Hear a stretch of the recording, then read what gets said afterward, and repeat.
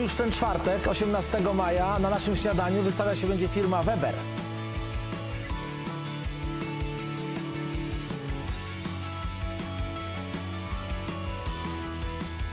Razem z nami ląduje również firma Rigips.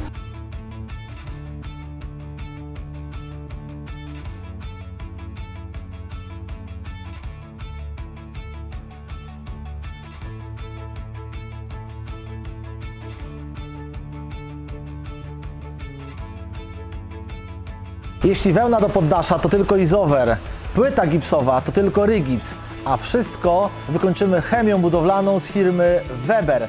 W najbliższy czwartek sprawdź nas. Zapraszam, Karol Walo.